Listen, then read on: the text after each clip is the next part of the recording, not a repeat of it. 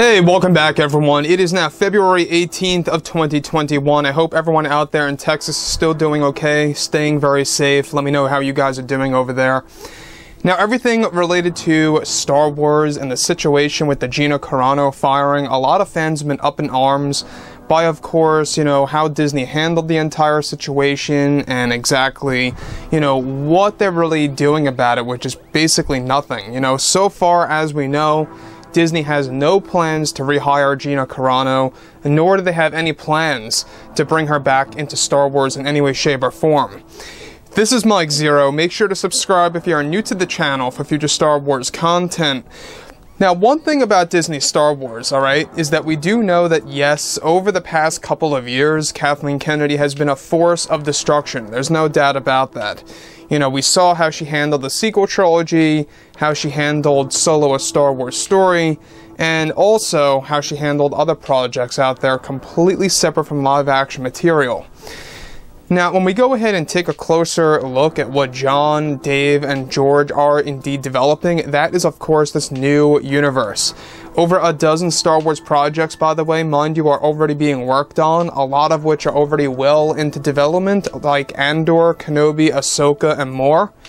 So we got a lot coming our way. A lot of fans are very much still intrigued about Ewan McGregor reprising the role as Kenobi, Rosario Dawson coming back as Ahsoka, and so much more to come. However, there's no denying that a lot of fans are very angry over what happened with Gina Carano and are responding in ways by canceling their Disney Plus subscription. Disney themselves have actually been very worried about the entire situation of the amount of subscriptions that they actually lost because, like I say, it doesn't only affect Star Wars, it affects Marvel and everything else, you know, that's also a part of the platform. Now, with that being said, given that The Mandalorian Season 3 is now in development, Disney and Lucasfilm are fully focused on their new universe moving forward. It's described, however, that behind the scenes, creator Jon Favreau has been going through a very tough phase after the firing of Gina Carano by Lucasfilm. It's noted that Jon is described to be planning to leave from a major Star Wars project that was going to be one of the main Star Wars TV series on Disney Plus.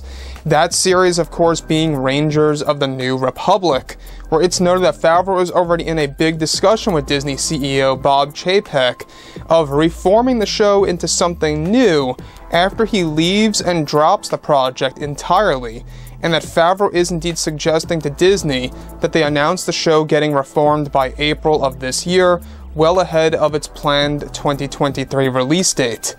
Additionally, Favreau is, of course, surprisingly, already planning to do more projects with his partner Dave Filoni, and that they are also tweaking the Ahsoka Tano TV series and rewriting many aspects of The Mandalorian Season 3 now, one thing I gotta say is that these two guys are very, very busy. I don't know how they're able to keep up with all of this, but I digress.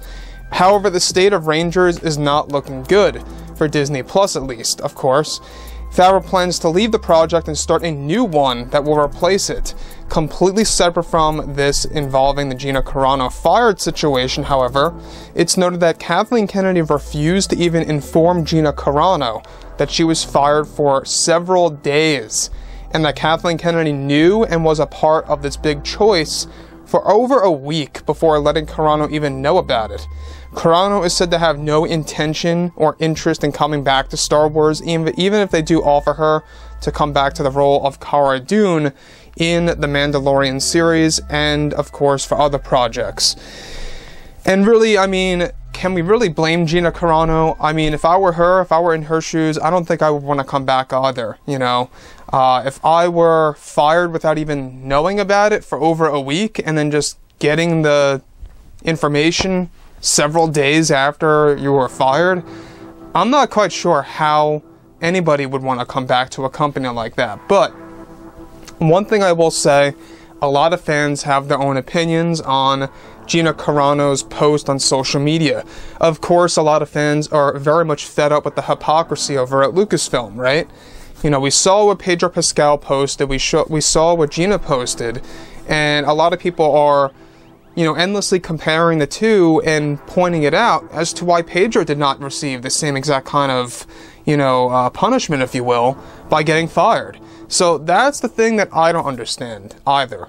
You know, obviously there's an agenda going on over at Lucasfilm. Obviously there is something of that kind that allowed Pedro to stay on board. One would even argue or debate that Pedro is still there because, oh, you know, he just did something like that one or two times where meanwhile Gina Carano just kept doing it over and over and over again while Lucasfilm kept telling her to stop.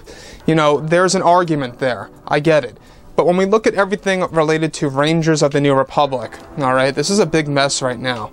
Now, this is not going to make a big hole in the Star Wars universe. Essentially, Jon plans to leave that project, start a brand new one, pitch it to Bob Chapek, the Disney CEO, and really kind of just use that as a replacement to insert it into this new roadmap of Star Wars that's going to actually be placed within the same exact time frame changing all the main characters, changing the plot, but keeping it in that time frame, roughly one month to one year after Return of the Jedi.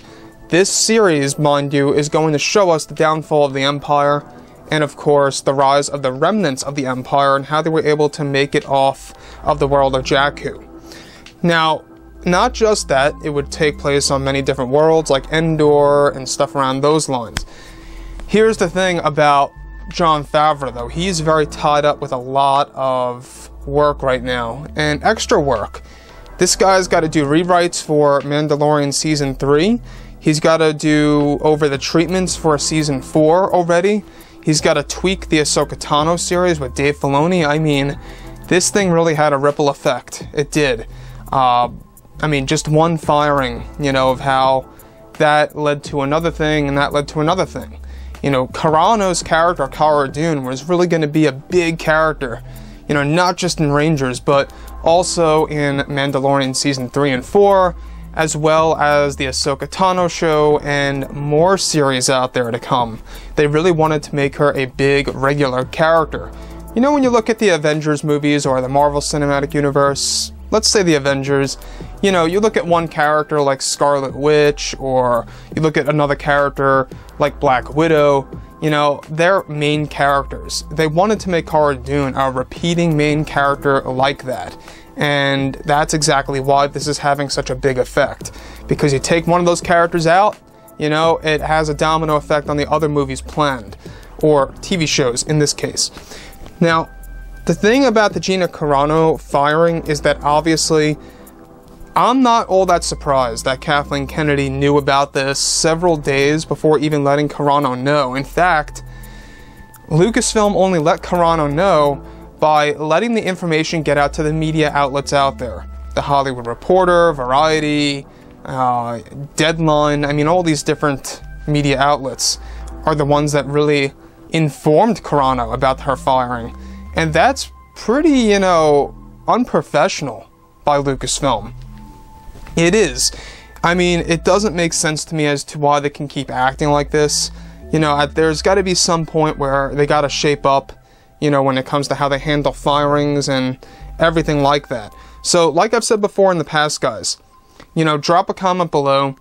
Let me know about all of this in the comments, and if you guys did enjoy the content for today, do make sure to drop a thumbs up on this video to support the channel. I thank you all so very much for the kind support, and I'll catch you guys next time.